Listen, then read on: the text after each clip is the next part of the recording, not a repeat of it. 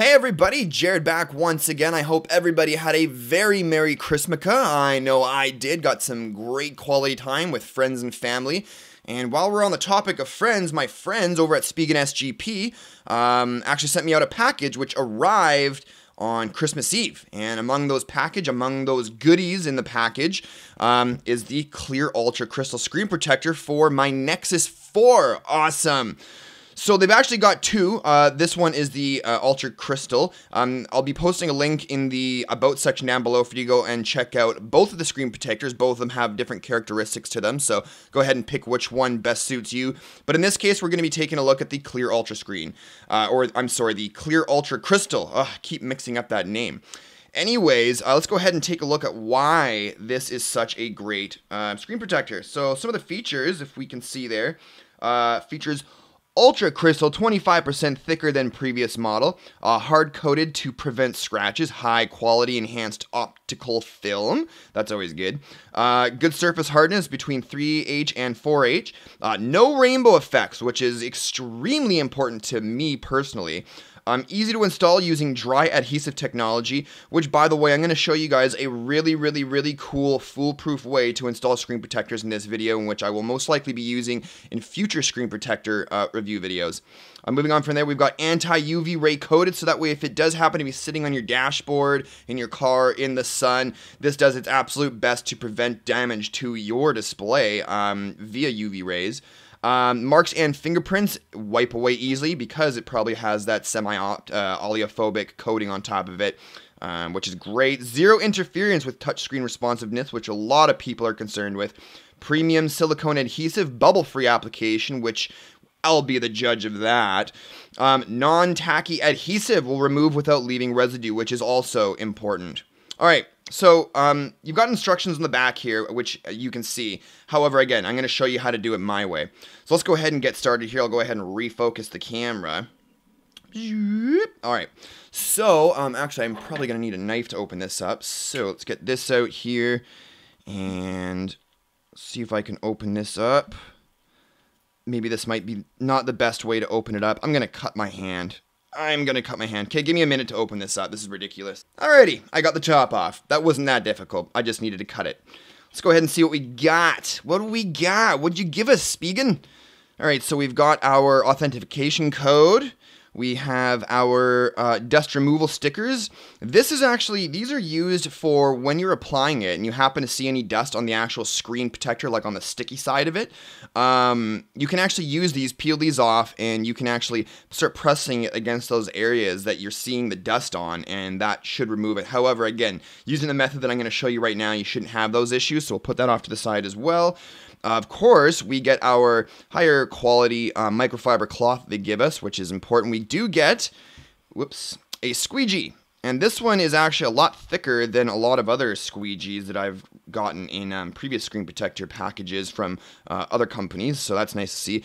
And of course, the star of the show, the screen protectors. And you actually get two awesome. So if you bung up the first one, don't worry, you got another one. If you if the first one you did successfully attach um, gets bunged up over time, huh, you've got another one. And the prices, you guys are gonna have to check out the prices for these because um, for premium quality screen protectors, you go to a brick and mortar store to some sort of a retail booth somewhere, you're paying 30 bucks for a premium quality screen protector. Um, these ones are around $15. I think it's like $13 actually, but um, anyways, they've got great, great prices on some of the world's highest quality screen protectors from Spigen, so just keep that in mind. Alrighty, so let's go ahead and get this stuff out of the way here. Need that out of the way, that out of the way, and all we're going to need is the screen protector, the squeegee, and the microfiber cloth. So this is going to be a little bit difficult for me to do behind camera. Um, okay, one other thing that I wanted to mention is you're going to need some scotch tape. Scotch tape? What the hell are you talking about, Jared? Just shut up and wait and let me finish. So first things first, um, now what I recommend everybody doing before you apply a screen protector is actually turn off your device for, oh, I don't know, at least 10 minutes, okay? Um, the reason behind that is because when your device is warm, it warms up the display. And if the display is warmed up when you're applying a screen protector, it actually um, um, encourages air bubble pockets. And that's always a pain in the ass to get out at the end of the process, right?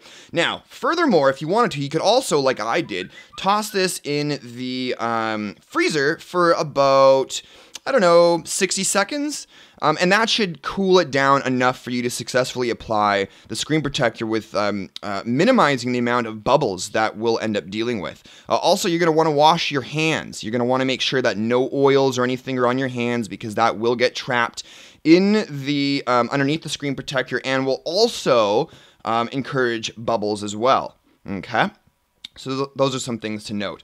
So we're going to want to clean this really well. Um, if you have one, getting a alcohol wipe is the best way to do this. That way you can remove any grease that might be um, over top of the oleophobic coating that's already on your device because you're going to want to make sure that you remove that as best you can because that you know oil also encourages bubbles um, all right so that is pretty clean now what we're going to do is we take some pieces of tape probably four is a good number um, and make them about that long okay and get those ready and just kind of tape them uh, see where I can tape them here. And just tape them onto like the side of your desk or table or whatever. Okay, so get a couple of pieces of tape here.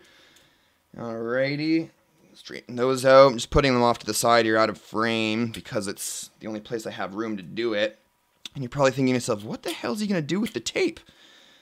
And this is going to blow your mind. I can't take all the credit, or any credit for that matter, for this method. Um, if any of you are interested where I actually got this method from, the video on YouTube where I got this mes- uh, this this method from, let me know. I'll just post a link in the About section below for you guys to go look at it yourself. Um, other than that, you'll be seeing this method right in front of you here. So, um, take it out of its little uh, sleeve here. Okay, and we're going to want to learn which one's the front and which one's the back, which it is clearly labeled here. You may not, I don't know, can you see it against the white there? Back, front. Um, so which one, which side is it on here? Okay, so that's, okay, so that's the front. So what you're going to do is we're going to line this up perfectly. All right. Now I might have to get off camera here, so the audio might be a little bit off, and I might actually need some more light, so you're going to have to excuse the um, odd lighting that I have at the moment. And what we're going to do, and my hands might be a bit shaky because this is actually the first time I'm attempting this. So you grab your first piece of tape, which apparently took off some of my desk with it as well just now. That's fantastic. And we're going to line this up. Now, it's probably best to line it up with um, any of the holes, obviously, right? So uh, you'll notice that it's got a cutout for the camera and the proximity sensors as well as the... Um, uh, the speaker grill, but this particular screensaver, or screensaver, screen protector is actually cut out a little bit smaller than the display uh, because the Nexus 4 actually has curves on it. And so to prevent the edges from lifting up over time, they've actually made it a little bit smaller, which is good because especially if you're putting on cases, those cases will lift those edges, all right? So anyways, now with that out of the way, let's go ahead and actually do this. So we're gonna get this on there just perfectly, and there's, I mean, this display is already slippery as it is here. So you're gonna have to give me just a moment here. All right, so I've kind of rearranged things here just so I can get in there better. It takes a little bit to sort of line it up perfectly on your display, especially considering the Nexus 4 doesn't have a whole lot of front-facing cutouts like buttons and stuff like that.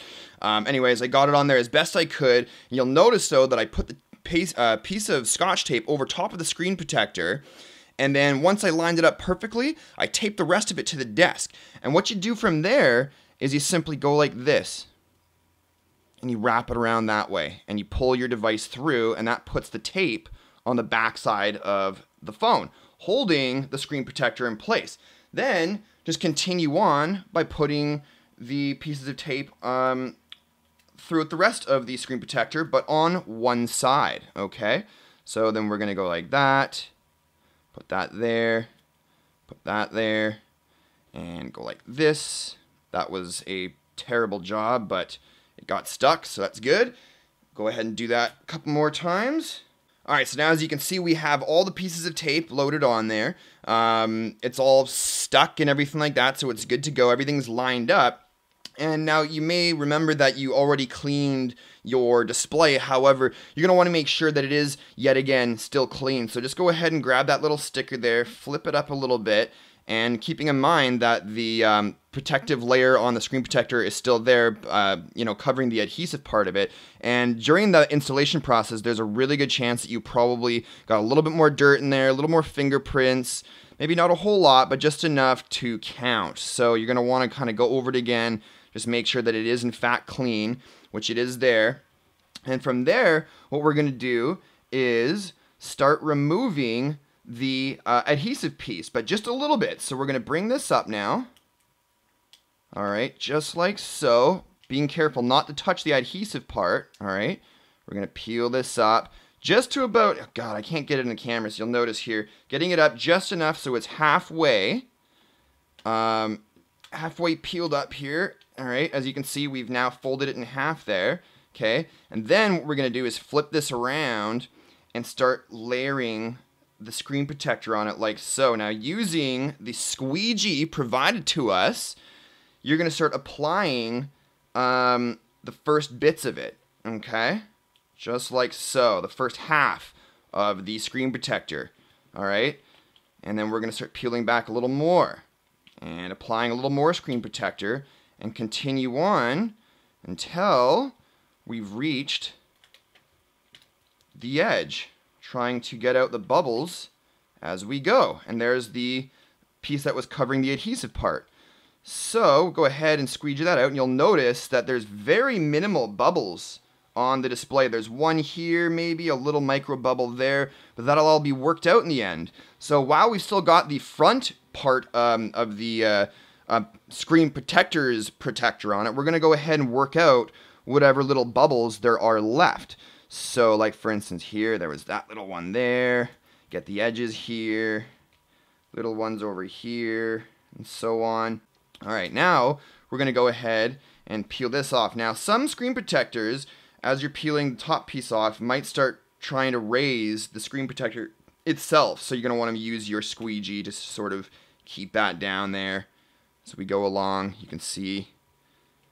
All right, and there we go. So as you can see, there's only very minimal bubbles, as you can see there, right? So we'll go ahead now that that's actually been applied, and we can go ahead and just remove this back piece here, and it just comes off just like that. And then we just go ahead and finish up by squeegeeing out the rest of the small bubbles. So there you have it, ladies and gentlemen. We now have a perfectly applied screen protector. I'll go ahead and zoom in for you all so you can see I can get the focusing just right. And you'll notice that, and I'll use the light reflection to kind of show you here. So you'll notice that the, everything's absolutely perfectly lined up. There is zero bubbles whatsoever in the screen protector completely perfectly lined up and you can use this method with any screen protector of course you're going to want to use Spigen screen protectors because they are the best bang for your buck as well as, in my opinion, probably among the highest quality screen protectors you can find on the market anywhere. Anyways, guys, let's go ahead and um, fire this up and take a look at the clarity that it provides and see the touch responsiveness and all that other good stuff. So anyways, here is a look um, at the display through the screen protector once applied. And as you can see, touch responsiveness is perfectly fine. Um, going here, you can see it's perfectly fine, feels great on the finger. The swiping is just as it was before. Clarity is just as it was before. The screen is just as beautiful as ever. Um, also, again, I want to reiterate that I do like actually the fact that Spigen was smart enough to put, or sorry, cut the um, edge of the film so that it fits within the display as opposed to right to the edge. And the, again, the reason behind that is because the display on the Nexus 4 is curved. And if you have something that goes to the very edge, that curve will eventually cause the film to start lifting up. And as you start putting on um, cases and whatnot, the lips of those cases will start pushing and lifting up the edge of the display, um, you know, putting it at risk to start holding, hanging on to like grime and dirt and things like that around the edge of the screen, which just looks disgusting, um, as well as obviously um, increasing the risk of eventually the protector completely peeling off altogether. So anyways, guys, overall satisfaction is through the roof with this screen protector. The amount of money you're spending, which is very, very minimal. Um, you know, you get two screen protectors, squeegee, and all that other great stuff. Um, this is a fantastic choice for your Nexus 4, the Clear Ultra Crystal Screen Protector from Spigen absolutely fantastic stuff here. Definitely, I'll be posting a link not only to their website, but as well as to the product purchase pages um, for not only this one, but the other one they have uh, available for the Nexus 4 as well for you guys to kind of make up your mind depending on which characteristics you prefer or, or find maybe uh, better suit you. Uh, again, that's it for now, guys. Thank you so much for watching. If you like this video, shoot me some love by hitting that likes button down below. Hopefully, you enjoyed um, the installation tutorial that I showed you guys. Um, I do plan on using that installation tutorial uh, sort of on future um, screen protector videos down the road. Uh, but again, thanks again for watching. Also, if you haven't already, you may want to consider subscribing for more videos like this in the future. We do try to put out five videos a week.